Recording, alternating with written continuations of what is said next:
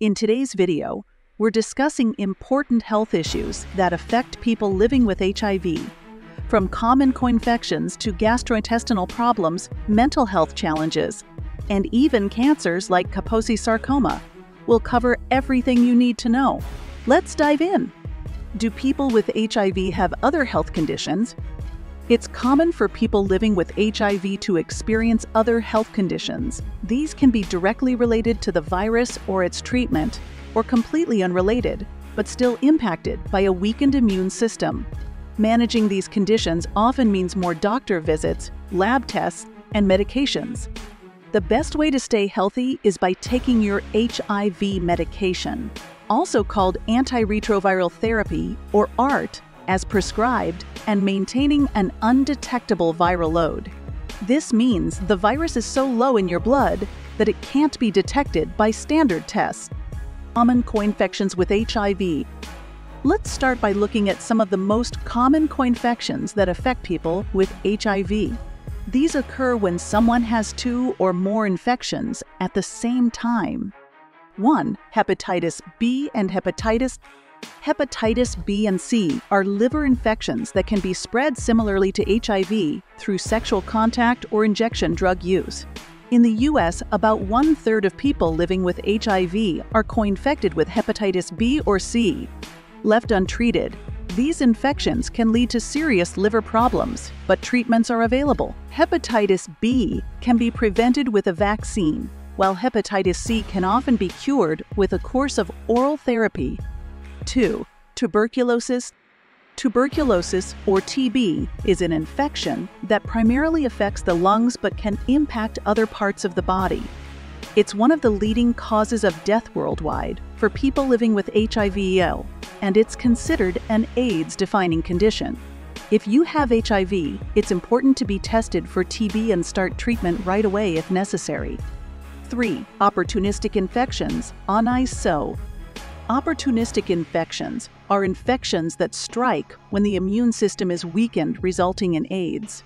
These can include pneumonia, salmonella infection, candidiasis, and toxoplasmosis. People with HIV are especially vulnerable to OIS when their CD4 count drops below 200, which is why it's so important to stay on top of your HIV treatment.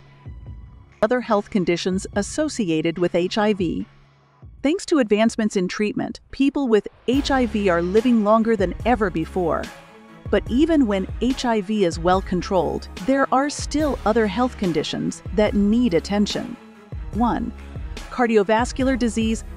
People living with HIV have a 5100 increased risk for cardiovascular disease, which includes heart attacks, strokes, and heart failure. Research has shown that taking medications like statins can reduce this risk. Staying on HIV treatment and getting regular checkups are also key to protecting your heart health. 2. Chronic inflammation. Chronic inflammation is another issue for people with HIV. Even when the virus is undetectable, low levels of inflammation often persist, which can lead to other health conditions like cardiovascular disease, diabetes, kidney disease, and liver disease. It's important to work with your healthcare provider to monitor and manage these risks. 3. Mental health conditions. Mental health is often overlooked, but it's a critical part of living well with HIV. Depression and anxiety are common in people living with HIV, often due to the stigma of the illness or the psychological toll it takes. HIV-related medical issues can also contribute to mental health challenges. If you're struggling with your mental health, it's important to seek support and treatment. 4. Substance use disorders. Substance use disorders, such as alcohol or drug abuse, can further complicate the management of HIV.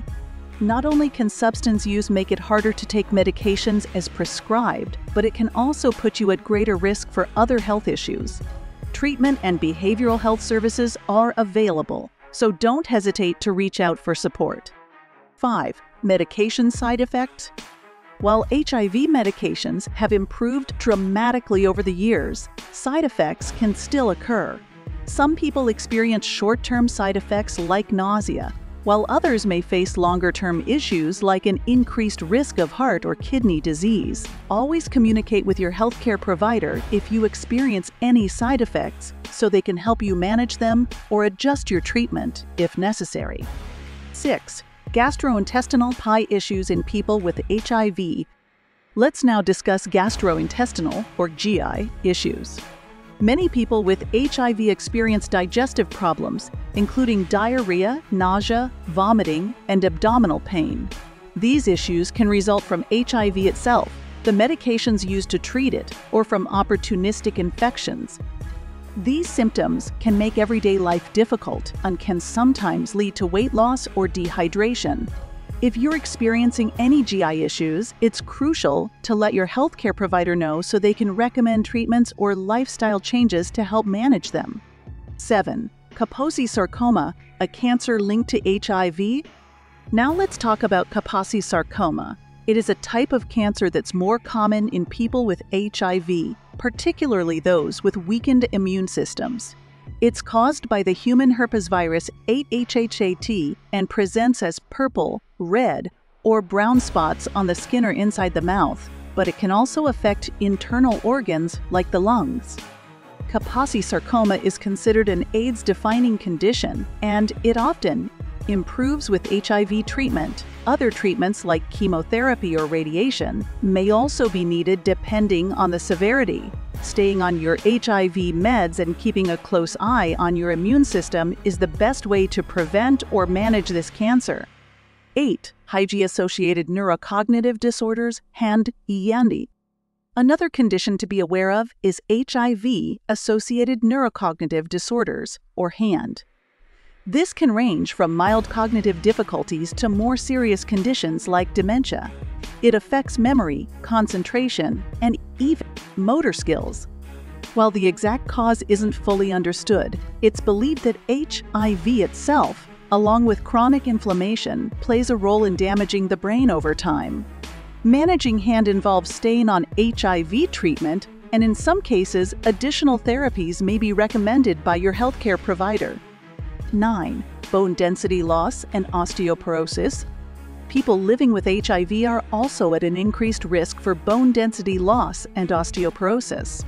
Over time, the virus, combined with certain medications, can weaken the bones, making fractures more likely. Your doctor can assess your bone health through regular screenings and may recommend supplements like calcium or vitamin D, along with lifestyle changes such as weight-bearing exercise to keep your bones strong. Living healthy with HIVs. Living with HIV comes with its challenges, but with the right medical care and lifestyle choices, you can lead a healthy, fulfilling life. Remember, the most important thing you can do is stay on your HIV medication, see your healthcare provider regularly, and take care of any other health conditions you may have. By staying informed and proactive, you can manage both HIV and the associated health issues Thank you for watching this episode of Health Awareness. If you found this video helpful, be sure to like, share, and subscribe for more updates on HIV and other health topics. Stay healthy, stay informed, and we'll see you in the next video.